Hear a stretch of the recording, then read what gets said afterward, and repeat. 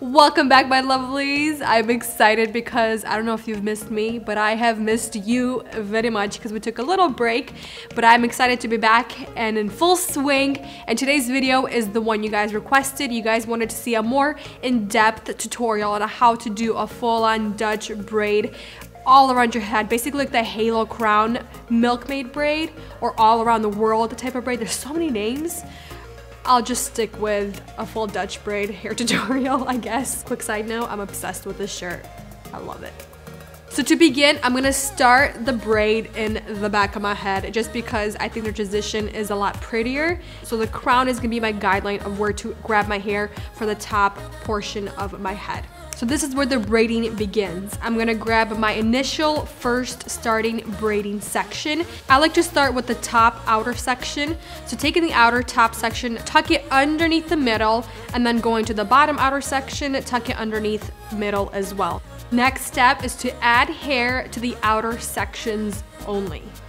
So the trick for me when I Dutch braid, this is what really helps me. So the outer section I take first underneath the middle, hold it, and then add hair to the middle portion.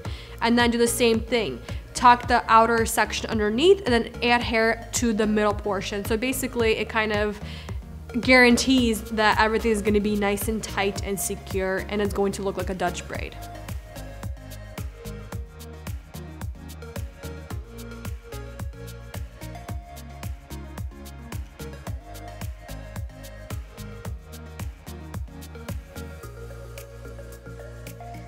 So with this technique of starting from the back of my head, going all the way around, I'm only gonna switch my hands one time. So I made it all the way out to the other side of the ear, and this is where I'm gonna switch my hands because my hands can't go backwards anymore. So I'm just gonna hold everything in one hand, my left hand, making sure all three sections are separate. And then I'm just gonna switch over, taking my other hand to the other side, and then just start braiding like I am. Just don't forget where you end ended with the which section, top or bottom. Yeah, you're basically handing your baton.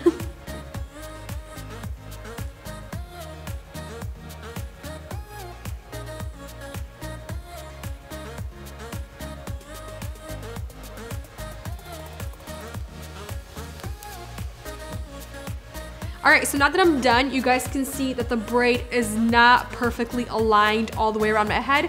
Like right here on the side, it's a little bit going down and then going back up just a little bit, but that's okay because this is where the magic happens. This next step is pulling apart your braid. I think this is a very crucial step just because this just kind of looks boring, very schoolgirl kind of like. So now I'm gonna make it very modern and in your face. So this next step is important for me personally because I have very thin, fine hair. When I do pull it apart, if I don't have grit and texture in my hair, it will just fall back. It will just be limp and will not do anything. So this right here is the next step that I do. I use texture spray, dry shampoo, or some kind of hairspray to add that grit and texture into my fine silky hair. And this is one of my favorite products. This is the Not Your Mother's Texture Spray. It's a great alternative to my Oribe texture spray.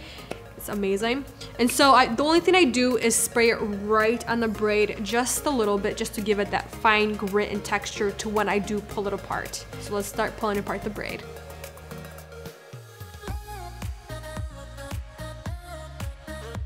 And I do it in little sections first. Started with the section on the top, bottom, and then make my way all the way around, doing a little bit.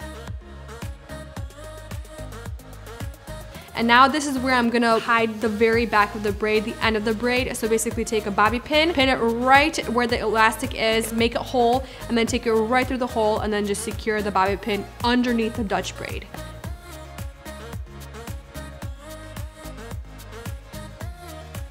So now I'm almost done. So this is where I go and do the finishing touches. Basically, if I feel like a braid is sagging, I will bobby pin it, secure even more, and then I will go back one more time around and pull it apart as big as I can, if I can, because I do have really short hairs, as you can see right here. So now I'm gonna go back in, see where some of the braid is sagging, like this right here is not as tight, it's kind of loose. So I'm just gonna take a bobby pin, of course, my favorite ones, Meta Grip. And then because it is a Dutch braid, it is ridiculously easy to disguise. So just take the bobby pin right underneath the braid and then just take the hairs and then just secure it up going towards, like alongside the braid.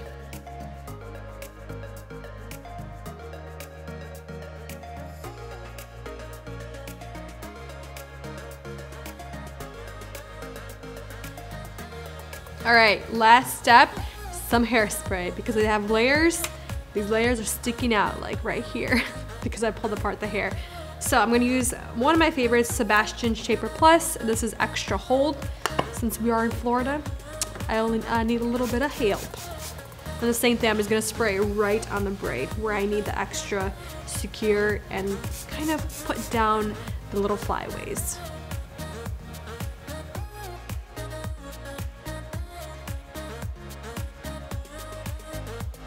And this concludes my in-depth how-to halo slash crown slash milkmaid slash all around the world Dutch braid hair tutorial. Let me know where you would wear this braid. I'm gonna wear out to Top Golf tonight. I'm excited. It's gonna be a good day. But thank you so much for watching this video and I'll see you in the next one. Bye.